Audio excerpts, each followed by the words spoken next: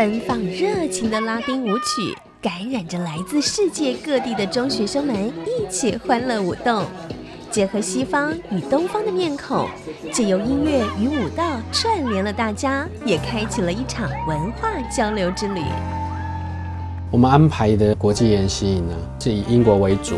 来参加这种国际研习营的学生，除了台湾学生，有很大的比例就是来自于其他非英语系的国家，例如法国、俄罗斯、土耳其、巴西、西班牙等等。我们成立英凡国际旅行社以及英凡国际教育，我们很努力的在这过程中导引他认识、突破、改变他自己，真正的走出他人生国际化的第一步，让他认识这个世界。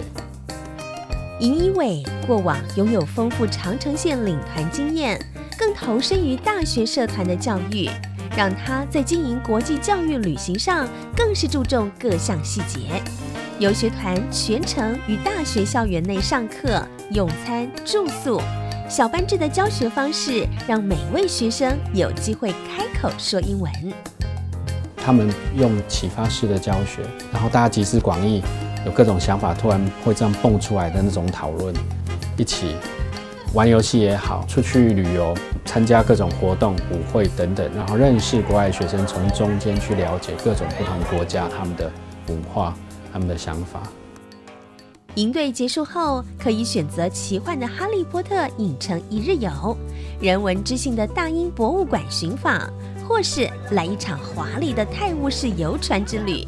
还可以飞到邻近的比利时、意大利、法国、德国，搭乘莱茵河平原葡萄园缆车，感受田园风光。最后再品尝经典的德国猪脚，让味蕾感受着异国的美食飨宴。做游学团做教育旅行，你的团员是未成年，他的维安因素会更多。我们本身第一，我们的领队呢，他的配音绝对比很多游学团。高非常多，因为他们都是业界最好的精英，他们的领团能力都非常强。然后很多年前我也曾经在保险公司当过主管，所以我很重视这个部分。该有的根据深根公约所做的保险条款，还有根据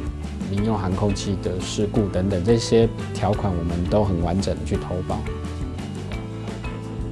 我们选择尹总的英凡国际，我觉得一个很重要的重点就是行程的规划部分，它并不是走马看花，也没有让学生很匆忙，因为它不是以利益为导向，是真的想要做出一些贡献，给学生一些东西。那我觉得跟我的价值观来说是比较相合的。我们也为技职体系的学生、餐饮或观光休闲事业相关科系的学生，就是到泰国去五天。中间有学泰国菜，然后可以拿到一张证书，可以得到很好的国外体验，然后花的钱不多。尹一伟的细心与专业态度，细节到游学团的团服都亲自挑选，与最专业的厂商合作设计，从颜色到布料材质，注重每一个细节，让每一位学生能安全的出发，也安全的回来。三个礼拜下来之后，那小孩从游览车走下去，那个自信的表情，哇，这一趟真棒的那个愉悦的神情出现了。我们也从家长的脸上看到笑容，这个是很大的收获，感到非常这做这个工作非常的正面。这个国际交流是让他真的人与人接触啊，那种第一线的接触。那那种体会跟在线上打字是不一样的，所以我们非常鼓励台湾的学生呢，多出去走一走，用个人的实际的体验，然后来改变你自己对这个世界的想法。这个是我们呃办国际教育未来在推动的目标。